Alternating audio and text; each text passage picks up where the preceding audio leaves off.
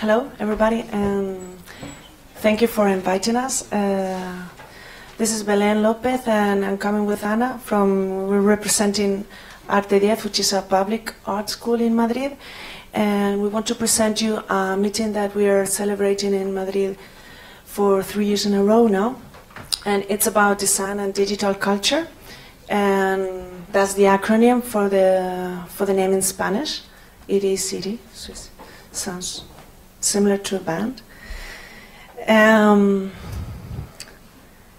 this um, meeting that we're that we're organizing is um, joined is made up with Media Lab Prado. It, there's the venue where it was what is celebrated every year, and it's an event from Arte 10, the High School of Design, Superior School of Design in Madrid, and and Media Lab as the coordinators.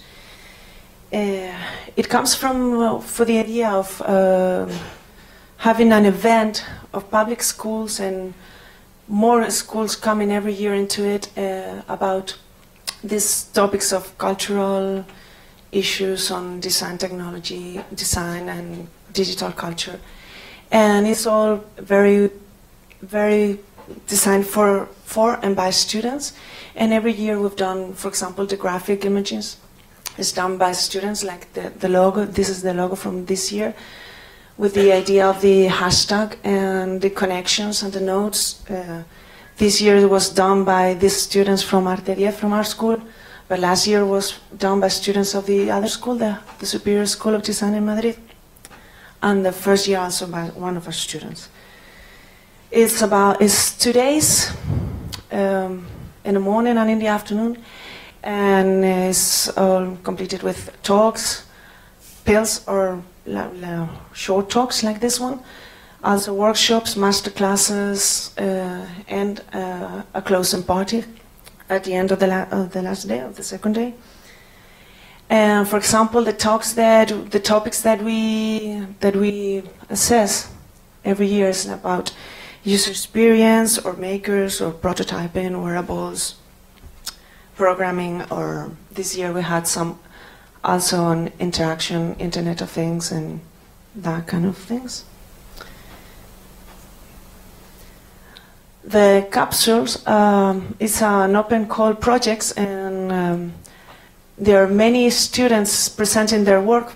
Most of the times, for the first time, they do in a public space for, for professional people. But it's also open for, for professionals and for people from outside the schools. It's not only for students.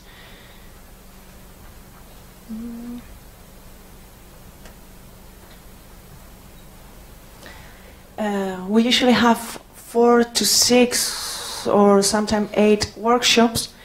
And this year we had some like on collaborative design or some with uh, one with ink and sound with um, conductive ink and making sounds out of it.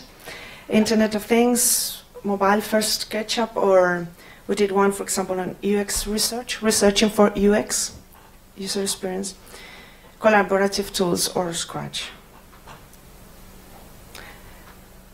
Some master classes, like this year, we had one on ha- the Hack Lab in Almeria. That is a Hack Lab settled in the south, in the south of Spain, in a very small community, and they talked about how to how to introduce this technology to people who are not used to it and how to get small communities small towns to get very interested into these topics. Unity game design or information architecture. And it's all talked about um, on the interest of teachers and students as future designers. So it's all very